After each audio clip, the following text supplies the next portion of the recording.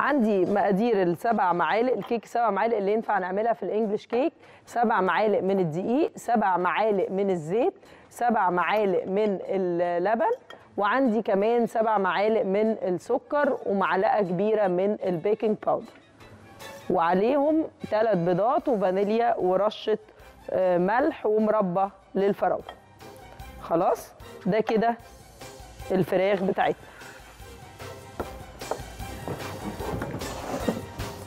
تمام كده